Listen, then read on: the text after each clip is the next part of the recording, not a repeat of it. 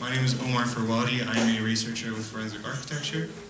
And Forensic Architecture is a research agency, uh, university-based, that was founded in 2010 that undertakes spatial and media analysis of violence and violations. So we use our expertise as architects and visual practitioners to kind of assess and investigate buildings as evidence. The built environment holds kind of information about what we are doing in foreign countries. But we are not only architects, we have in our team uh, photographers, coders, investigative journalists, filmmakers, and we often collaborate based on the case with NGOs, human rights organizations, lawyers, and scientists. And the work of forensic architecture happens in our time because of two catalyzing phenomena of our modern time. The first is that the majority of, of, of, the majority of wars that we see today are urban. They are occurring in cities and buildings are their targets. And so it becomes an opportunity for architects to kind of offer their expertise and to read buildings almost as witnesses, to interrogate and question them for newfound information about what has happened. But often we cannot go to those places of conflict, you know, as, as researchers uh, from abroad. So we rely on the second phenomena, which Kuhn kind of alluded to, which is that these conflicts are occurring in media saturated environments, in which every single kind of citizen equipped with their phone can directly transmit to us their testimony, their direct accounts. And often we see that it is sometimes a flooded, um, you know, footage of, of high volume. And we have to kind of organize and compare each piece of evidence we have. And we develop techniques such as, um, in kind of cases of conflict, called the architectural image complex, in which we synchronize and place each of these things in a space and time virtual space, right? So we understand them in relation to each other and not anymore as single entities to be viewed in kind of a chaotic sense. And then we begin to understand uh, kind of patterns and analysis much more clearly. So today I'm going to be talking to you about two cases. The first one much more briefly in Pakistan, and the other one uh, in Syria by coalition forces and a bit more in depth. Because sometimes the cases that we see are not um, are not so available in high volumes of footage. Sometimes there are media sieges.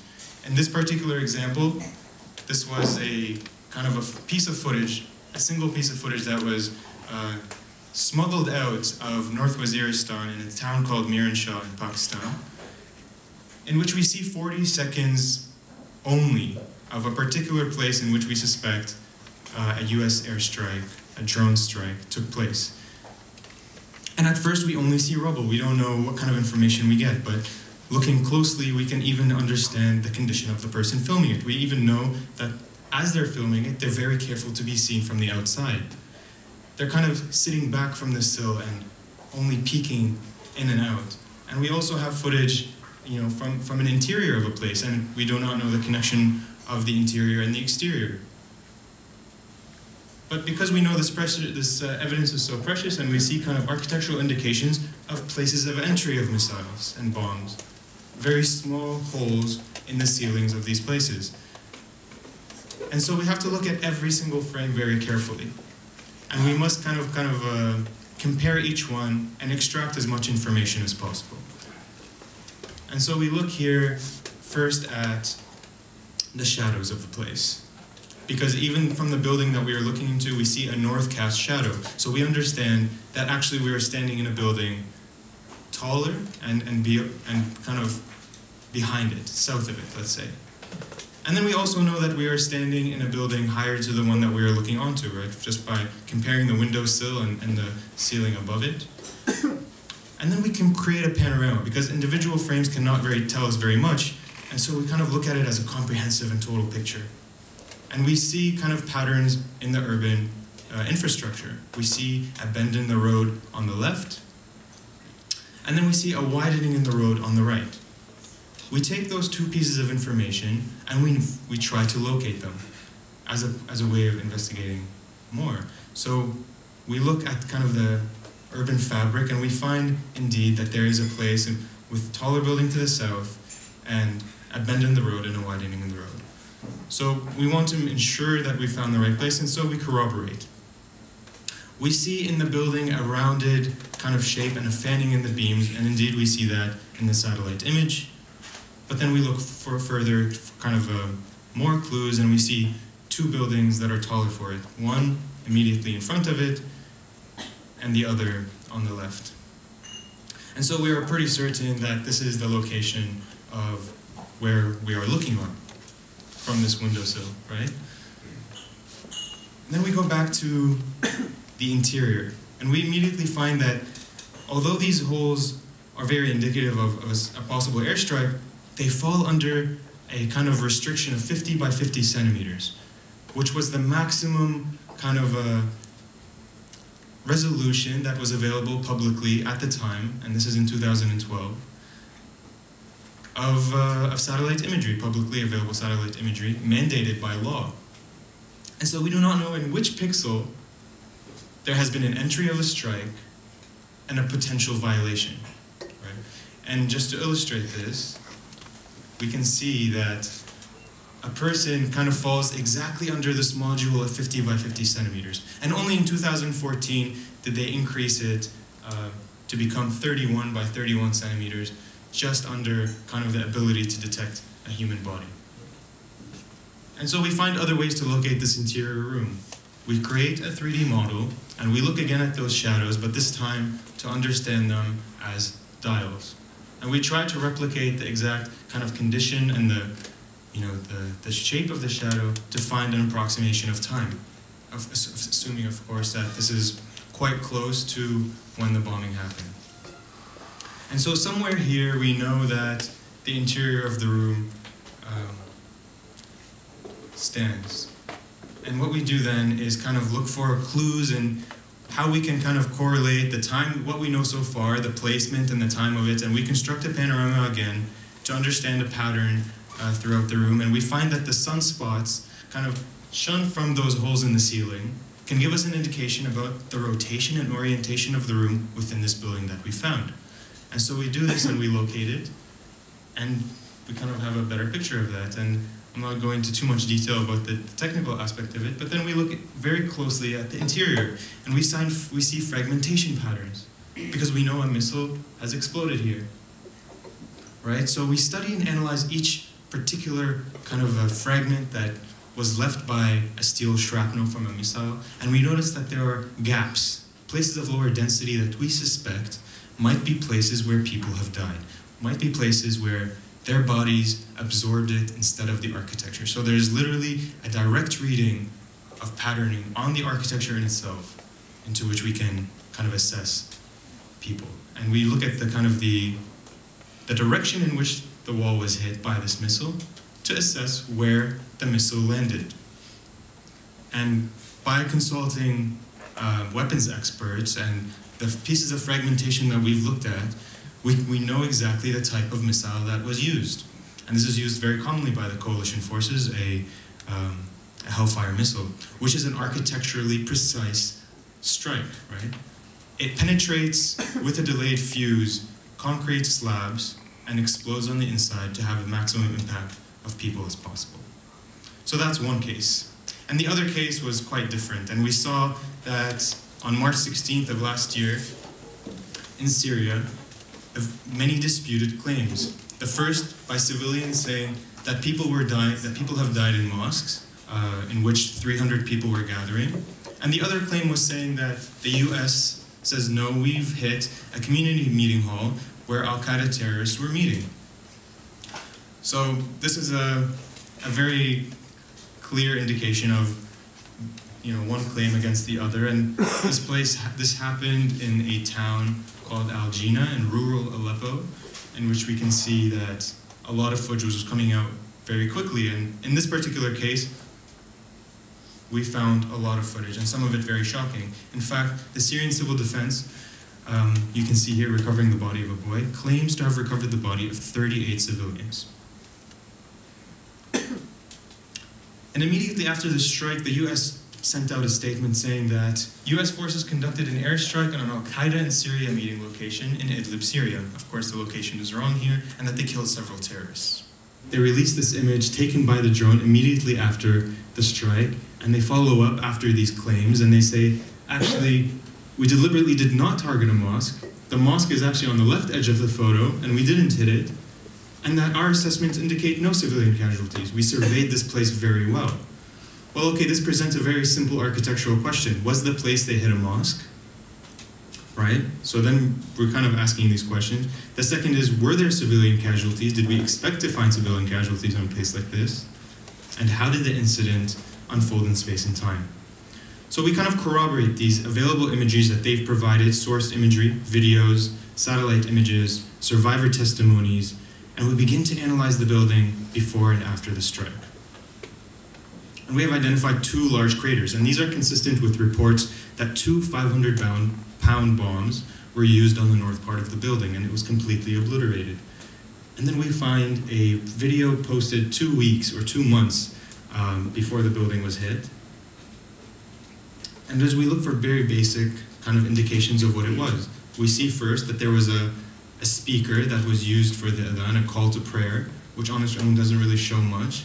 And we also see a very crude sign that says Sayyidina Umar ibn Khattab Mosque, as people were claiming. But this is not enough, so we hire a local photographer to document the inside and the outside of the place, right? So we're looking for very specific religious elements that can identify, identify what kind of a building it was. And we see first that there's shoe racks where people leave their shoes, very common in a mosque. But we, we need to look further. And so after reconstructing in a 3D model, we can also place in space uh, an image which we can see the mihrab, where the imam leads the prayer, and carpets on the ground, right? And places for storage also for carpets. A very simple and common characteristics of a mosque, and we can conclude quite concretely that this was indeed a mosque. And then we have to kind of reconstruct what it was before. To understand the layout and the architecture of the building helps us to indicate whether we expect to find civilian casualties at all. Right? So we try to kind of go back to what it may be.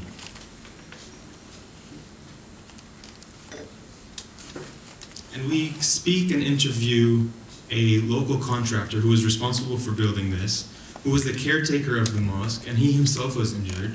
And we conduct uh, kind of WhatsApp um, interviews in which we exchange architectural drawings and sketches and you know voice clips to understand and corroborate what was happening. And we knew that there was an imam's flat on the second floor and a main prayer hall in the south, a ritual washroom, toilets, a kitchen, and a winter prayer hall.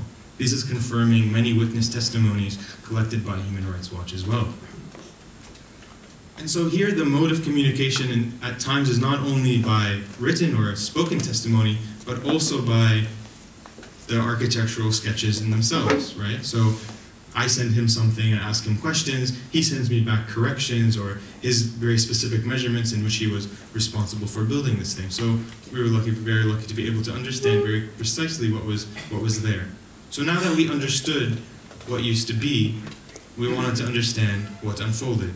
And we know again, as I said, two bombs hit the northern part of the building. These two 500 pound bombs completely demolished the place, but afterwards, of course, a large number of people started to flee. And this is where the majority of the kind of casualties happened. And it was stated by an, an anonymous US official that four Hellfire missiles were used to specifically target people fleeing. And this is very strange. And we interviewed this uh, local um, leader of the, you know, the Syrian civil defense, known as the White Helmets, who was responsible for the rescue mission and for the mission of rescue in the area. And he says that there were 20 to 30 people scattered from the building to the, to the road. And it was very shocking. And so we wanted to find out where he pulled these people, and we wanted to document this. And he indicated that these were the locations in which he pulled 11 injured people, and that and then, then we see um, locations in which he pulled um, people that have died. And in this particular instance, he pointed to me a place in which he pulled out himself a child, and that this child uh, was 14, and that he later died of his injuries.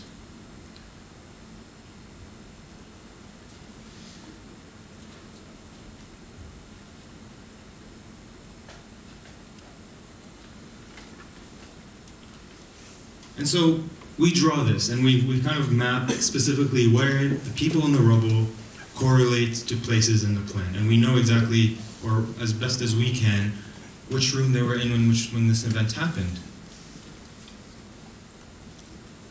And we find and analyze markings on the road that indicate traces of Hellfire missiles also. Because there was like a very hard surface, we can see a direct patterning.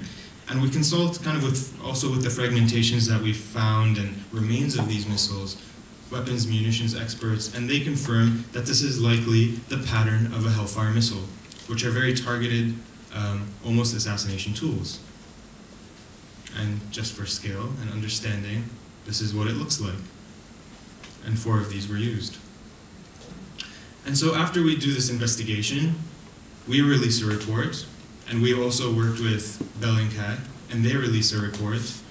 And Human Rights Watch also releases a report, and we all kind of conduct these independent reports and we publish these. And upon publishing, I mean, before publishing, if you remember, the US said, we're not going to do an investigation because we've done our assessment and there doesn't seem to be any casualties. But after we, sent, we released this report um, with those other organizations, said, fine, we'll look into it.